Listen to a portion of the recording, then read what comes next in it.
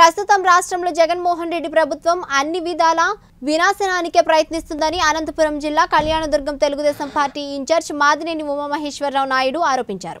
రాజధాని అమరావతిని కొనసాగించాలి అంటూ కళ్యాణదుర్గంలో తెలుగుదేశం పార్టీ ఆధ్వర్యంలో నిరసన కార్యక్రమం చేపట్టారు. ఇందులో భాగంగా ఎన్టీఆర్ భవన్ నుంచి నినాదాలతో ర్యాలీ ప్రారంభించి గాంధీ విగ్రహం దగ్గరకు చేరుకుని గాంధీ విగ్రహానికి పూలమాలలు వేసి ప్రభుత్వానికి వ్యతిరేకంగా నినాదాలు చేశారు. ఈ సందర్భంగా ఉమా మాట్లాడుతూ ప్రభుత్వ తీరుని ఎండగట్టారు.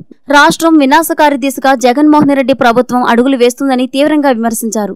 ఈ నిరసన ర్యాలీలో తెలుగుదేశం నాయకులు కార్యకర్తలు తెలుగు యువత తదితరులు పాల్గొన్నారు.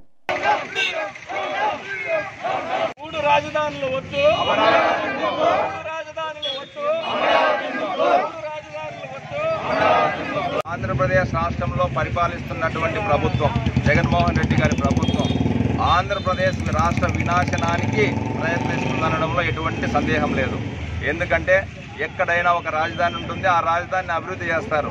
మనం కూడా ఎవరికైనా కూడా ఒక తల్లి తండ్రి ఒక గ్రామం ఉంటుంది. మనకు ఒక పేరు ఉంటుంది. మూడు పేర్లు ఉండవు. ముగ్గురు తల్లులు ఉండరు ముగ్గురు తండ్రులు ఉండరు మూడు గ్రామాలు ఉండవు.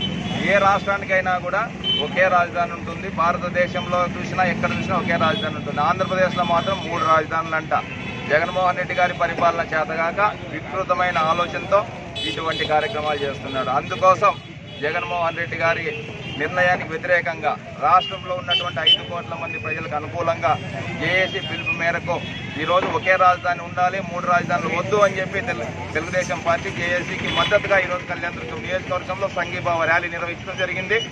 పెద్ద ఎత్తున వచ్చినటువంటి తెలుగుదేశం పార్టీ సభ్యులకు ప్రజలకు పేరు పేరు నమస్కారాలు అభినందనలు తెలియజేస్తున్నాం. ఒకే రా మూడు రాజధానుల అభిప్రాయాన్ని విరమించుకొని ఒకే రాజధాని కొనసాగించాలని చెప్పి జగన్మోహన్ రెడ్డి గారికి తెలుగుదేశం పార్టీ తరఫున డిమాండ్ చేస్తున్నాం.